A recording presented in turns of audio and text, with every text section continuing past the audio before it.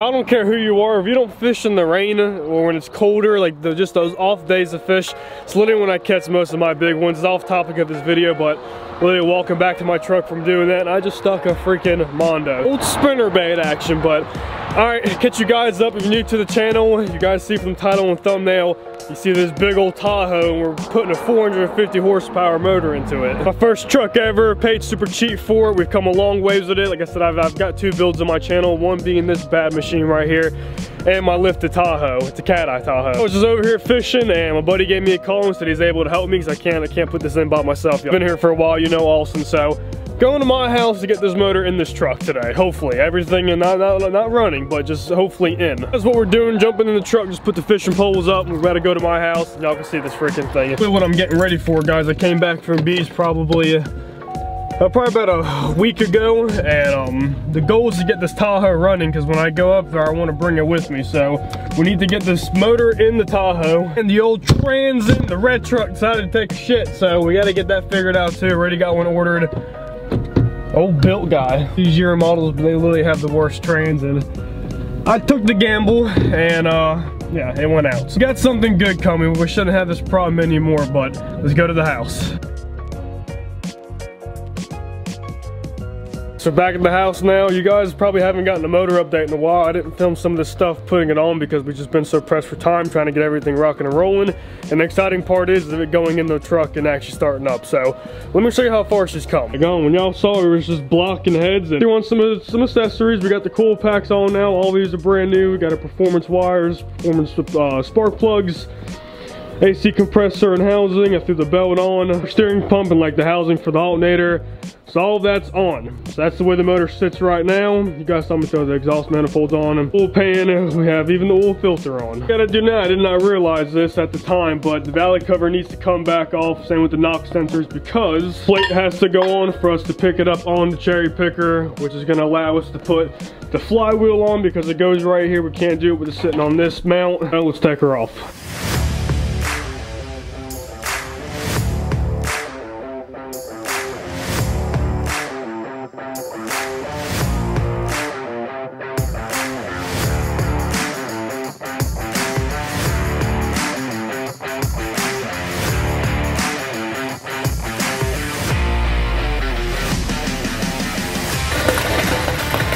Guys, you can see Austin's removing the hood.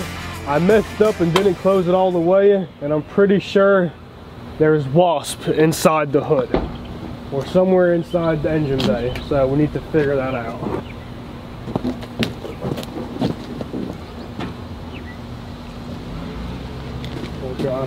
Look carefully. All right, well, looks like we're clear for wasp. Guess we're missing them. A little, little, little tiny nest, but there's nothing on it. So I guess they decided to move on somewhere, which is good for us. So let's get the motor on the cherry picker. Y'all just last show you. For anything in life, when you uh, put something on the back burner, and I tried not to, but it's only been about a month, you just kind of forget where things went. There's wiring harnesses on the bottom, there's some on the top, and y'all tell me, where does anything go? Because I've I have no clue, but we'll figure it out. We'll get it, we'll get it right.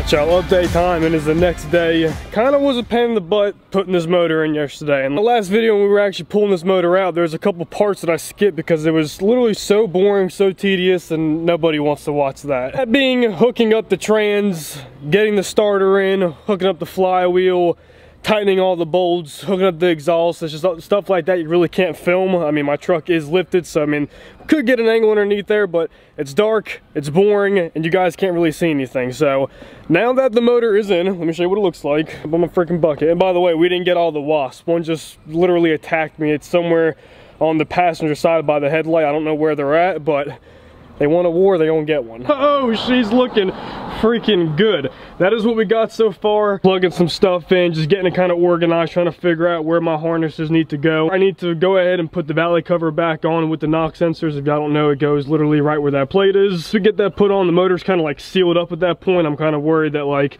I mean, my hood's been closed, guys, and you can just see all in here. It's just full of pollen, and you want you want to get your motor closed up. We got some dielectric grease. We're all set for that. Honestly, I can walk you guys step by step into doing this, but we all know what we're waiting for is the, the motor to be back the way it needs to be, and hopefully that first startup. So, yo, with that being said, let's just go ahead and roll the time lapse.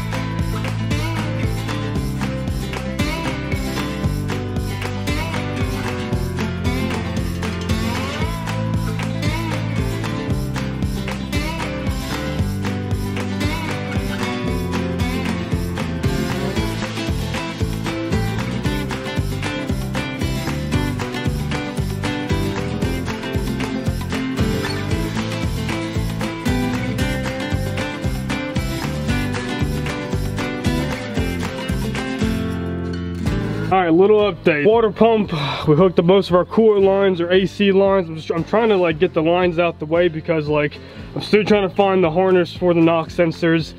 Uh, I got, oh my God, off wasp. I'm gonna you up. Oh shit, I just killed one. I guess there's another. Oh, I've been tearing my ass up. Yeah, I'm just gonna shut the camera off, try to get my harnesses like in the right spots so you can start connecting stuff. Every single harness and connection should be different, so there's never gonna be the same except the coil packs and maybe the fuel injectors, but there's a lot of them, so we gotta we gotta figure this out.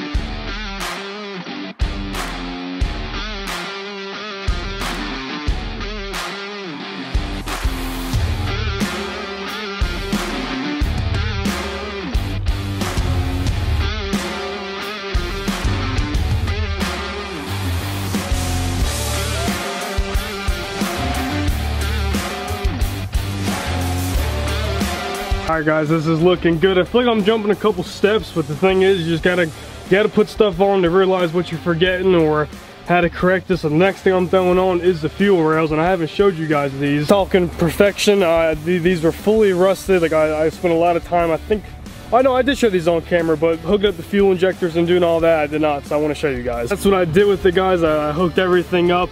Even though the clamps that hold the fuel injectors were all rusty, I took all those off, got them all, got them all nice looking good, so let's start race.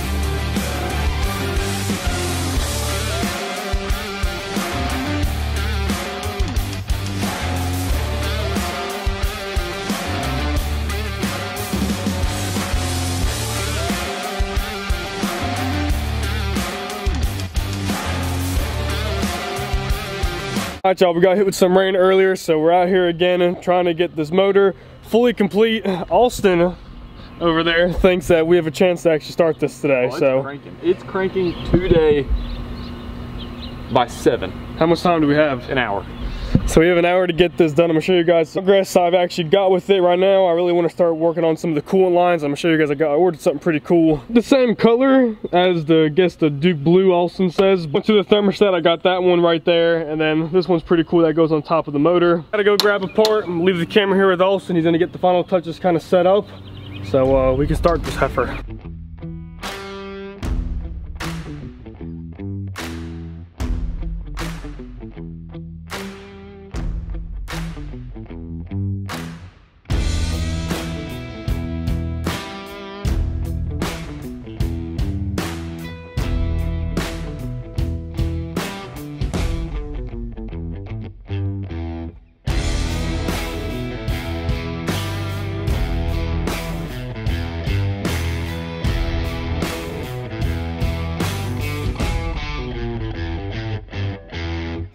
Come to the final stages of putting in oil, coolant, and power steering fluid just because this motor was pre-oiled, but I pulled off the sticker, and started leaking oil when we first got it, so I want to go ahead and do the oil first just to give it time to set through the motor. We'll do coolant, power steering, and y'all hook up this battery, and just maybe it will start. First bit of oil. It's Quart going in. Spilled that. Yeah, that's definitely lighter. I think so. No? Uh-oh, uh-oh. Where are we leaking? Uh, out of the block. No, Yeah, right there.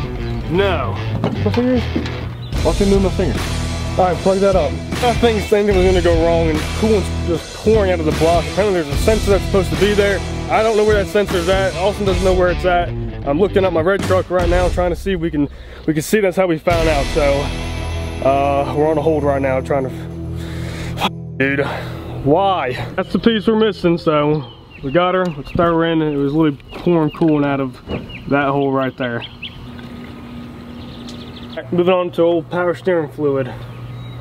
The final touches, we're actually, uh, last time I was driving this truck, the green lights shut off in the video, which was really weird, I think, 'cause I was hitting the mud so hard, so we're tightening all that up right now. It's the first thing I'm gonna check to make sure that, like, as a checklist, green light should come on.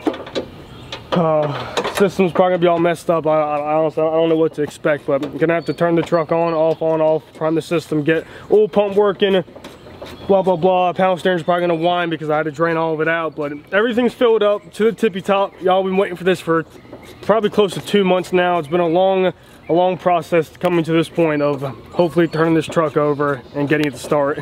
Y'all don't know about this truck. There's a whole background so i've not used this key in such a long time. This was the only key i used to use for two years. Whew. ready Carney? she tight boy. She tight First time unlocking her. There's probably a wasp in here. Oh, the smell. Off the jump, my my high beam that they're on and they're not. Green lights still didn't come on. Uh, the bar is not what we're talking about. All these lights light up. And my oil pressure is legit upside down where it's not even supposed to be. So don't know about that. I'm gonna keep on trying to clear the system, see what we can get going. Well, that's not good. Uh, turning my key in is not even making a noise. All my lights are flashing in my dash. We're not getting we're not getting power. Alright y'all, so next day, uh, I think I missed a couple of grounds. We have to try to figure out what we did today. Starter could be bad from the motor being locked up and me trying to start it when it blew up. Um, there's a lot of different things that could be wrong. So what we're gonna do is starting off, just disconnect the battery. Just kind of take our time on it today. Just look over everything, make sure that all of our grounds are good. If I missed any, plug them up. I'm gonna film up to us just like tweaking with stuff, guys. I find something interesting that I know that could be a problem, I'm gonna turn you guys on and show you just in case you don't have this problem. Once again, I hope the old Tahoe gets running today. Well, I don't know how I did it, but I actually missed the main ground for the battery. So we're trying to match trucks back and forth. I think I got it in the right spot. Just turned my key. The headlights are back off. Oil pressure's back where it needs to be, and um, I think she's ready to start. Well, it might, it might not, but let's give it a try. You priming it a few times?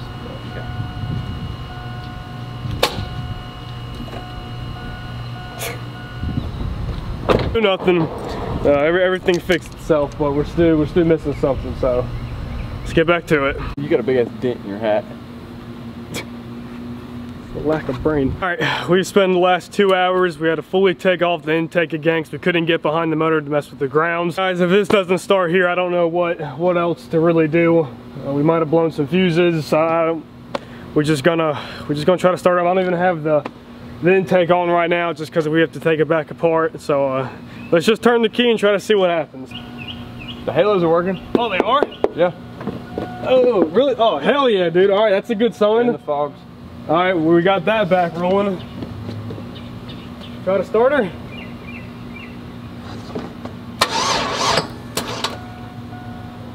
All right, that's something.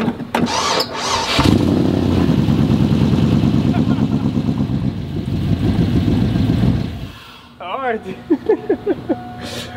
Ooh. What's that smell? All right, well, the battery just started to die on us really quick, so gonna try to jump her off. He freaking ran though, just for a second. It did have a really awful smell to it. I don't know, we're still in the mix. We're going, we're going to hook her up and see what else she does. Sounds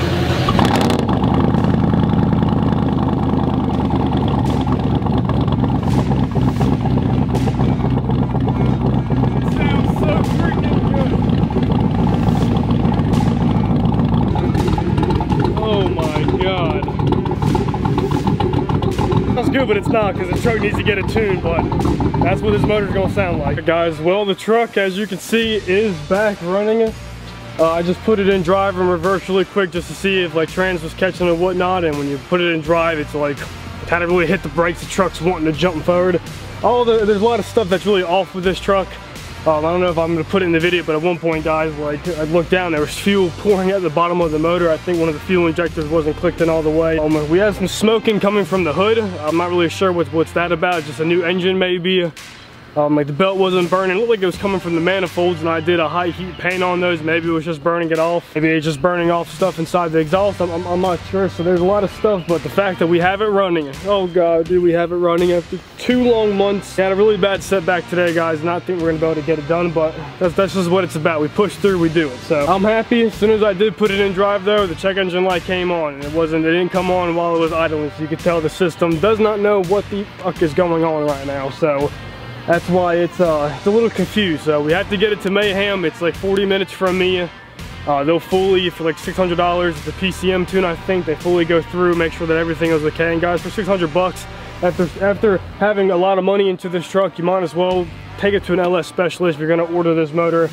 Um, if I was to try to drive it right now which most people would to get all excited you're just gonna foul the spark plugs. It's burning too rich. It's it's not what you want to do. So guys I'm, I'm excited truck's just gonna sit here until I take it which will be the next couple days. Hopefully the battery don't die and they'll get me right. So y'all I appreciate you watching. If you haven't watched any of the other videos leading to this truck this truck has literally all the history of my life in it for like the last three years. This was my my everything and it kind of still is because it's where I came from. So y'all go check out those videos. I appreciate you watching. Until next time Lippin Bass TV oh my god